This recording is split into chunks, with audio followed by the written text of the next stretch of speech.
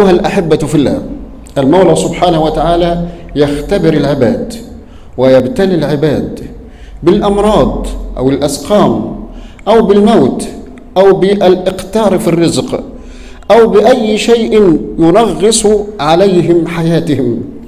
يكون هذا اختبار من الله سبحانه وتعالى. ومن كرمه يقول ولنبلونكم بشيء من الخوف. ولو قال ولنبلونكم بالخوف لمات العباد من الخوف ولكن قال بشيء من الخوف وأيضا من الجوع وأيضا نقص من الأموال ونقص من الأنفس ونقص من الثمرات ولكن لم يقل نقص من كل هذا ولكن قال نقص من ولو قال نقص في هذا لأصبح العالم كله اليوم في خبر كان ولكن من رحمته قال ونبلونكم بشيء من الخوف. والخوف هو شيء يعتري النفس أو مكروه يعتري النفس محقق أو ممكن إيقاعه. يعني واحد خايف من شيء هيجي عليه. فالخوف ده عبارة عن شيء جواك مخوفك مكروه داخل عليك خايف منه أو مرعوب منه أو قلبك بيرتجف منه. هو ده الخوف. ولذلك ربنا بيقول ولا نبلونكم بشيء من الخوف وكمان من الجوع. ولو قال الجوع كله لمات الناس جوعا. ولكن رحيم بعباده.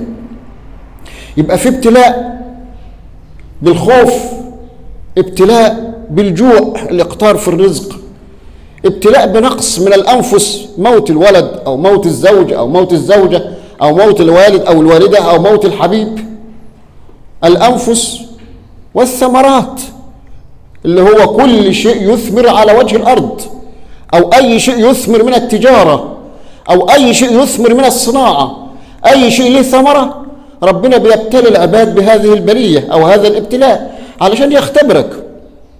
حتى نعلم المجاهدين منكم ونعلم الصابرين. وليمحص الله ما في قلوبكم. ربنا بيمحص ما في القلوب. علشان يشوف القلوب المؤمنة الطائعة والقلوب التي تجزع من قدر الله سبحانه وتعالى. لأن قدر ربنا نافذ. والله رضيت أم لم ترضى قضاء ربنا نافذ سبحانه وتعالى. يبقى شيء من الخوف والجوع ونقص من الأموال والأنفس والثمرات. ولكن في النهاية اللي بيصبر على ده كله الابتلاء في المال. دخل في تجارة وخسر فيها. دخل في شيء معين وما لم يربح به. عمل أي شيء مديره مغلبه مديره زجيه المر الرئيس بتاعه في العمل عامل فيه أشياء مش كويسة اتفصل من شغله. كل دي ابتلاءات من ربنا. بس بيقيس درجة إيمانك. وده هنعرفه بعد كده. إزاي؟ وبشر الصابرين. مالهم؟ الذين إذا أصابتهم مصيبة قالوا إنا لله وإنا إليه راجعون. مالهم؟ جزاهم عند ربنا أولئك عليهم صلوات من ربهم ورحمة. مين اللي هيصلي على الصابرين؟ ربنا سبحانه وتعالى. هيصلي عليهم. ويرزقهم برحمته. عليهم صلوات من ربهم ورحمة. ومش كده وبس. وأولئك هم المهتدون. وربنا هيرزقهم الهداية والطاعة. شوف ربنا سبحانه وتعالى بيمن على الصابرين منة عظيمة جدا. إنما يوفى الصابرون أجرهم بإيه؟ بغير حساب يأتي الصابر يوم القيامة ويقول له رب العزة جل وعلا اذهب إلى القصر كذا. يقول له وما لي ولهذا القصر يا رب. يقول له خذ ما فيه هو لك. يقول له وما هو فيه يا رب؟ بل وخذ كل هذا الذي أمامك. يقول له وما ومن أين هذه الأعمال يا رب؟ كل ده بيسأل. أنا ما عملتش حاجة ده كله عشان أخد ده كله. ويأتي رضوان خازم الجنة. خازن الجنة ويقول له خذ وخذ وخذ. خدت ده كله ده. أيوه. يجي بعد كده اليوم. يجي خازن النار. ما هيولد على النار. يقول له أتدخل الجنة؟ نعم. ما الذي أدخلك الجنة؟ فيقول الله أعلم. فيتركه. رضوان يتركه. المولى سبحانه وتعالى يعطيه ما يحب ويرضى. بهذا كله يا رب. فيقول له رب العزة جل وعلا هذا بما رضيت بقضائي وقدري في الدنيا. أنت رضيت باللي أنا عملته معاك؟ خذ وخذ وخذ. ولذلك المصطفى صلى الله عليه وسلم يقول عجبا لأمر المؤمن إن أمره كله له خير وليس ذاك لأحد إلا للمؤمن. ما فيش أي حد ياخد ده غير المؤمن بس. أمره كله خير. كل أمر المؤمن خير. إن أصابته سراء شكر فكان خيرا له. وإن أصابته ضراء صبر فكان خيرا له. ولم يأخذ هذا الثواب العظيم إلا مين؟ إلا المؤمن بس. ده ربنا ما كتبوش غير للمؤمن بس يا إخوانا. ولذلك ربنا سبحانه وتعالى لما وصفنا جليل قال يا أيها الذين آمنوا ربنا نادانا بالإيمان. ولذلك المصطفى عليه الصلاة والسلام يقول ما من مسلم تصيبه وصب ولا نصب ولا هم ولا حزن ولا غم. حتى الشوك يشاكها حتى الشوك يشاكها يثاب عليها. ما فيش مسلم هيتصاب بهم ولا غم ولا كرب عظيم ولا فقر في الأموال ولا الأولاد ولا حزن هيصيبه حزن ولا هيصيبه أي هم حتى الشوكه اللي بيتشاكها بس كده إلا يثيبه الله عليها. يعني لو أنت اتشكيت بأي شوكه ربنا هيديك ثوابها. فما بالك باللي ربنا اختبره بقلة الرزق بإنه اتفصل من شغله بإنه اتسجن ظلم بإنه هو راح مكان وكان خطأ. وغصب عنه فيه. كل دي ابتلاءات. مات ولده ماتت أمه ماتت أخته ماتت بنته. كل دي ابتلاءات من ربنا بيختبرك فيها. ما يصيب المسلم من نصب ولا وصب ولا هم ولا حزن ولا غم. حتى الشوكة يشاكها إلا يثاب عليها. سبحان الله العظيم.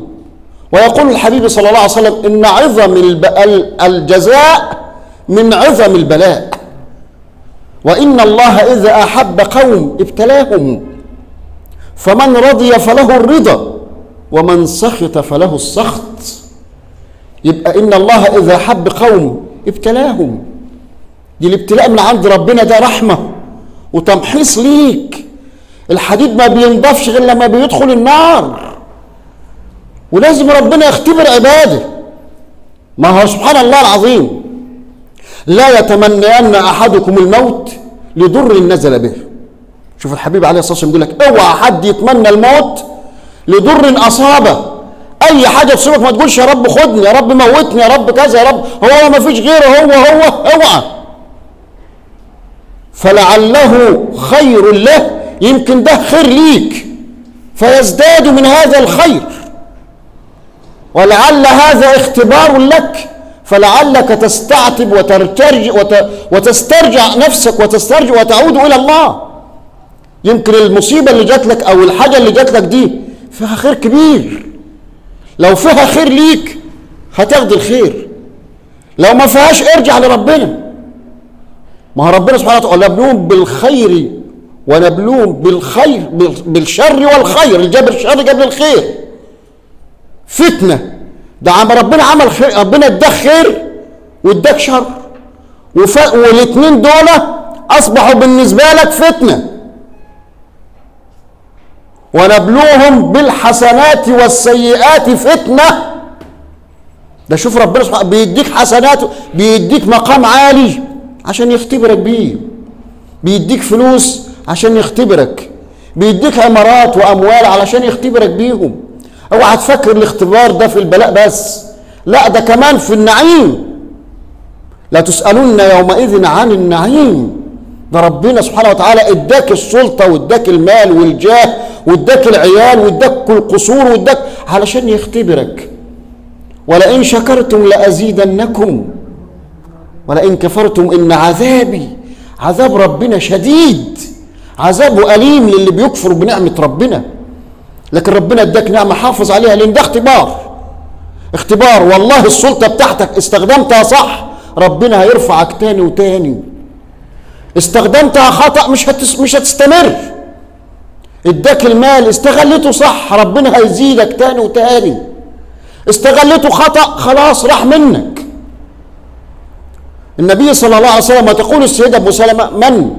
ما من عبد يصاب بمصيبة. مستجل أي شيء. إلا قال إنا لله وإنا إليه راجعون. اللهم أجرني في مصيبتي واخلف لي خيرا منها إلا آجره الله في مصيبته وأخلف له خيرا منها.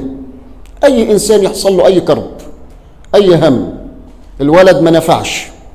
الولد طلع مش كويس. البنت ما نفعتش مع زوجها. الست مغلباني في البيت.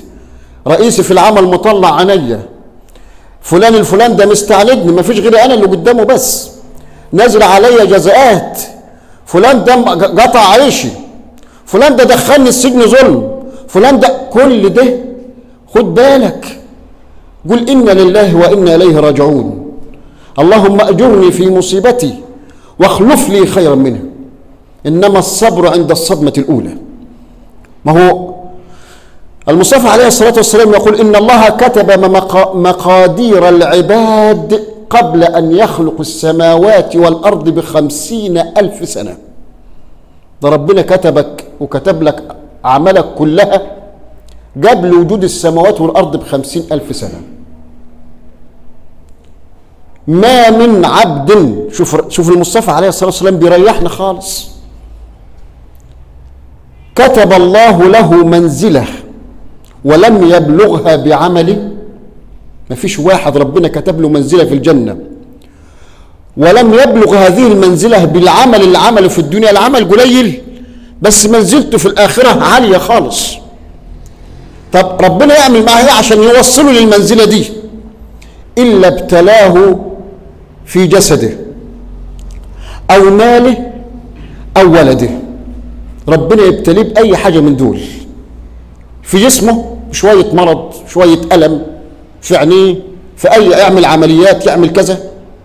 في ماله ماله يقل ماله يخس يخسر يعمل بتاع. في ولده يموت ابنه تموت بنته يموت أي حد.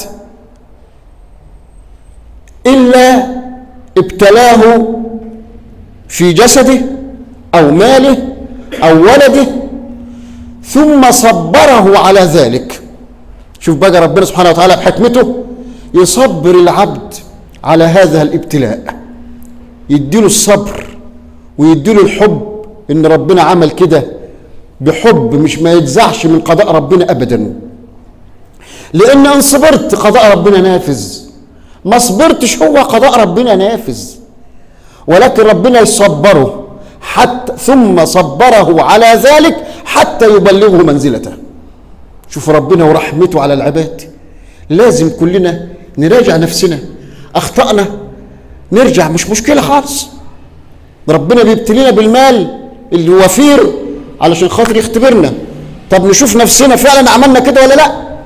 أنفقوا مما رزقناكم من قبل أن يأتي أحدكم الموت. فيقول رب لولا أخرتني إلى أجل قريب فأصدق وأكن من الصالحين. يا الله يعني الإنسان بعد ما يموت يقول لي يا رب الموت داخل عليا طب أخرني شوية. سيبني يا رب لمدة ساعة. طب لو مت وصحيت عاوز إيه؟ ما قالش أصلي ولا صوم ولا زكي ولا حج. لا ابدا. قال أتصدق. أدي أدي كلام ربنا سبحانه وتعالى. مما رزقناكم من قبل أن يأتي أحدكم الموت فيقول رب لولا أخرتني إلى أجل قريب ليه فأصدق وأكن من الصالحين. الصدقة الصدقة اللي قال عنها المصطفى صلى الله عليه وسلم. حصنوا أموالكم بالزكاة وداووا مرضاكم بالصدقة وأعدوا للبلاء الدعاء. ادعوا الله في السر وأنتم موقنون بالإجابة.